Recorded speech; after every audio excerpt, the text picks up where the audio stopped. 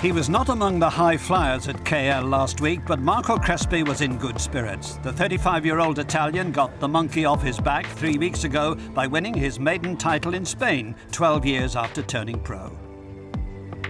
I worked a lot for, for this, and uh, now I'm enjoying uh, my first year on the, on the European Tour, and that's amazing for me, you know, and also uh, to win on the first season like a rookie, yeah, my story is pretty impressive. Narrowly missing his card through the Challenge Tour last season, Marco proved that perseverance can pay off by claiming the third card at Q School. It was the 11th time he'd faced this most grueling of examinations and the first time he'd emerged successful. It's a pretty different uh, tournament. It's not a tournament. It's uh, like a war. You have to stay focused for six rounds. And uh, even if you play bad uh, the first round or, or the first two rounds, you know that you got four more to reach the top, to, to get your card. So what does a committed and industrious Italian do when he's captured his playing credentials? I drove to Italy for 900 kilometers just thinking about this. Oh, I got my card now. I got my card. Oh yeah, I'm a European Tour player now.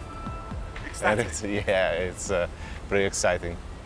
And it was to get even more exhilarating. Having begun his season with a tie for fourth at the South African Open, come a sunny Sunday in April, Crespi won the inaugural NH Collection Open in Cadiz, and joy was unconfined. A win always surprised me.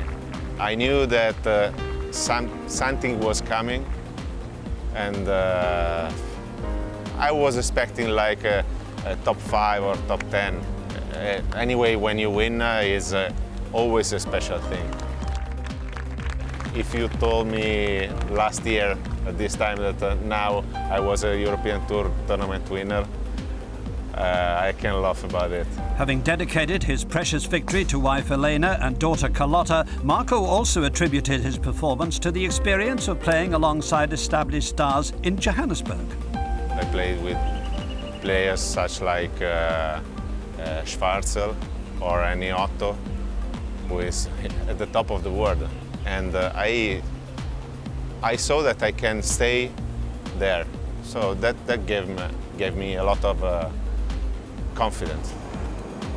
With an exemption until the end of 2015, the oldest rookie to win in European Tour history can now look forward to teeing it up at the lucrative Volvo Golf Champions next season this tournament as well. I, I, it wasn't it wasn't in my schedule, uh, but now the, the prize money of the of the tournament I gonna play are bigger, and that's better for me and, and for also for my uh, for my race to Dubai thinking. Marco Crespi, the man from Monza, having taken a big step towards better things on the European Tour.